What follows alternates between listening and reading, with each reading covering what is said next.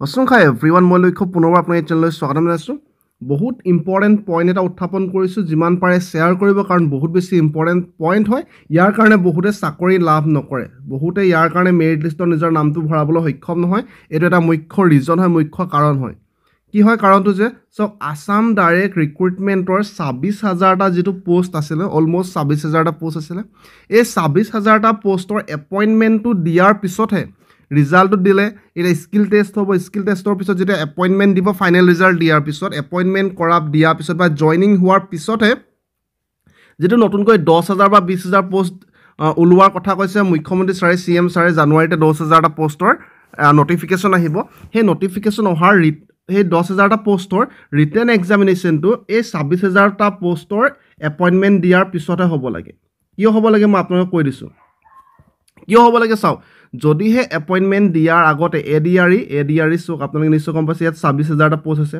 এই ছাব্বিছ হাজাৰটা পষ্টৰ এপইণ্টমেণ্ট দিয়াৰ আগতে যদিহে পুনৰবাৰ ৰিটেন এক্সামিনেশ্যন হৈ যায় নতুন চাকৰি তেনেহ'লে পুনৰবাৰ অভাৰলেপিং হ'ব। অভাৰলেপিং মানে যিসকল কেণ্ডিডেটে এবাৰ এক্সামিনেশ্যন ক্লিয়াৰ কৰিছে এ ডি আৰ ইত নিজৰ নামটো ৰেজিষ্টাৰ কৰিবলৈ সক্ষম হৈছে মেৰিট লিষ্টত তেখেতসকলে পুনৰবাৰ অভাৰলেপিং হৈ পিনি এই নতুন ভেকেঞ্চি এই নতুন ভেকেঞ্চিটো তেখেতসকলৰ নামবিলাক সোমাই যাব অন্তৰ্ভুক্ত হৈ যাব ডাবল ডাবল হৈ যাব।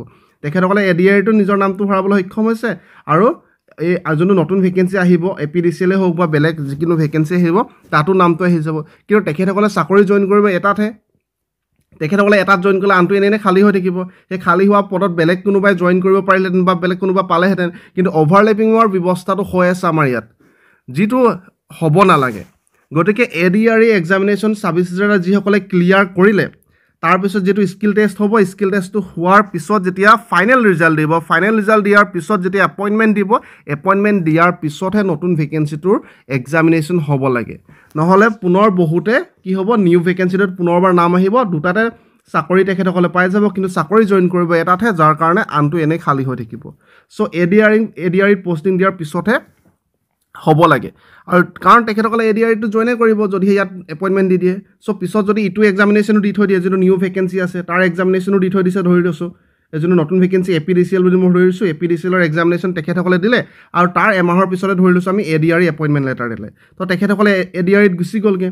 এ ডি আৰ গুচি গ'ল কিন্তু তেখেতসকলে এক্সামিনেশ্যন দি থৈ দিছে এ পি ডি চি এলো তেখেতসকলে এ পি ডি চি এলৰো এ পি ডি চি এলৰো এক্সামিনেশ্যন দি থৈ দিছে গতিকে ইয়াতো তেখেতসকলৰ পিছত ক্লিয়াৰ হৈ যাব। বহুতৰ ছাব্বিছ হাজাৰৰ ভিতৰত ছাব্বিছ হাজাৰটা ভিতৰত ভিতৰত ধৰিছোঁ মই চাৰি হাজাৰটা পুনৰ ক্লিয়াৰ কৰি দিলে এ পি ডি চি এলত A P D C L নহয় যোনটো দহ হাজাৰটা পষ্ট আছে তাত চাৰি হাজাৰটা পুনৰ ক্লিয়াৰ কৰি দিলে। কিন্তু এই চাৰি হাজাৰটা অলৰেডি এ ডি আৰ ইত জইন কৰি দিব। এমাহৰ পিছত যোনটো যদি এপইণ্টমেণ্ট দি দিয়ে গতিকে এ ডি আৰ ইত তেখেতসকলে জইন কৰিলে চাৰি হাজাৰটা নামটো এনেই এনেই A P D C L বা বাকী যিকোনো এক্সামিনেশ্যনত থাকি যাব। নিশ্চয় বুজি পাইছে মই কি কৰিব বিচাৰিছোঁ? অৰ্থাৎ অভাৰলেপিং হৈ আছে। অভাৰলেপিং হৈ আছে যে একেজন ব্যক্তিৰে দুটা তিনিটা চাকৰি এক্সামিনেশ্যন দি পিনি চাকৰিৰ নামটো আহিছে যাৰ কাৰণে তলৰ তলত কিছু যোগ্যতা থকা লোকসকলৰ নামটো মেৰিট লিষ্টত আনিবলৈ সক্ষম হোৱা নাই। কাৰণ একেজন ব্যক্তিয়ে সকলোতে পাই আছে। গতিকে অভাৰলেপিঙৰ ব্যৱস্থা নাইকিয়া কৰিবলৈ ৱেইটিং লিষ্টৰ ব্যৱস্থা কৰিব লাগে। যে কোনোবা এজন কোনোবা এজন কেণ্ডিডেটে কোনোবা এজন কেণ্ডিডেটে ধৰিছোঁ দুটা তিনিটা এক্সামিনেশ্যন ক্লিয়াৰ কৰিছে এইটো ক্লিয়াৰ কৰিছে এইটো ক্লিয়াৰ কৰিছে গতিকে যদিহে তেখেতে ইয়াত জইনিং কৰিছে বাকী দুটাত যদিহে জইনিং কৰা নাই তেখেতে গতিকে তলৰ পৰা যিসকলে ক্লিয়াৰ যিসকলে নামবিলাক ৱেইটিং লিষ্টত আছে তেখেতসকলৰ নামবিলাক ওপৰলৈ লৈ আনিব লাগে। তেখেতসকলে পোৱাৰ ব্যৱস্থাটো কৰিব লাগে। আছাম টেটতো আমি দেখিছোঁ বহুতবাৰ ৱেইটিং লিষ্টৰ ব্যৱস্থা নকৰাৰ কাৰণে বহুত যোগ্য কেণ্ডিডেটে চাকৰি পোৱা নাই একেজন ব্যক্তিয়ে দুটা তিনিটাত নামটো ভৰাবলৈ সক্ষম হৈছে।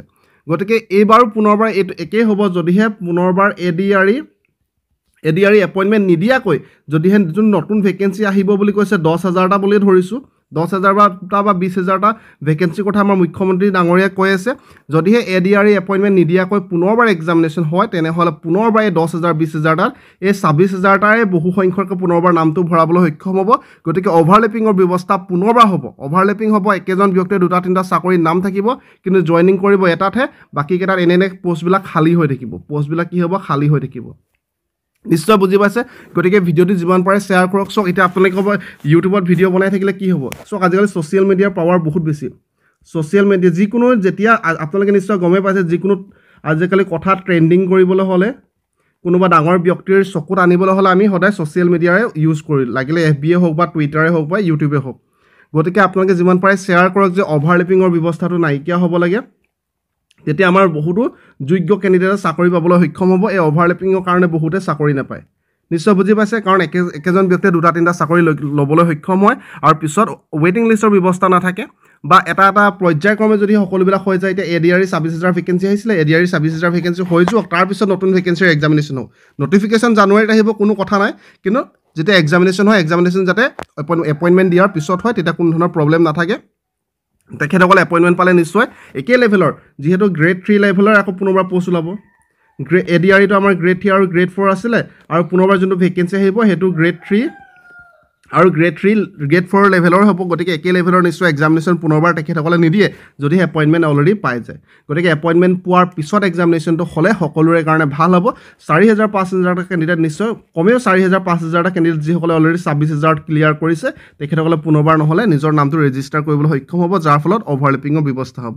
ইম্পৰ্টেণ্ট পইণ্ট হয় গতিকে শ্বেয়াৰ কৰক নিশ্চয় বুজি পাইছে মই কি ক'বলৈ চেষ্টা কৰিছোঁ অলপ দীঘলীয়া হৈ গৈছে কাৰণ ভালকৈ বুজাবলৈ মই আপোনালোকক চেষ্টা কৰিছোঁ। বাকী শুভেচ্ছা জ্ঞাপন কৰিছোঁ ধন্যবাদ।